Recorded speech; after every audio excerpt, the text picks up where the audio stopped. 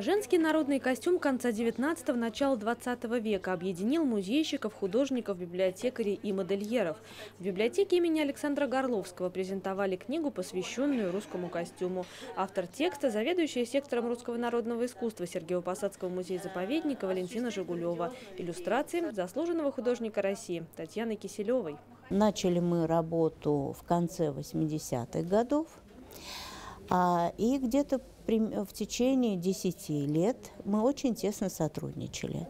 А Татьяна Витальевна работала на наших выставках. Ну, зарисовывала, просто собирала материал, не знаю для чего. Мне, мне это было интересно. А потом уже вот получилась эта серия, и я с этой серии участвовала и на выставках. А потом с этой же серии в 93 году я вступала в союз художников.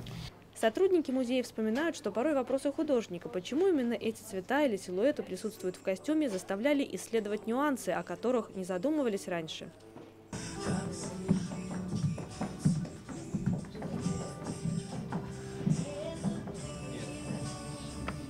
Театр истории костюма под управлением Зои Синельщиковой существует при филиале Высшей школы народных искусств. Студентам этого учебного заведения книга о русском костюме в помощь.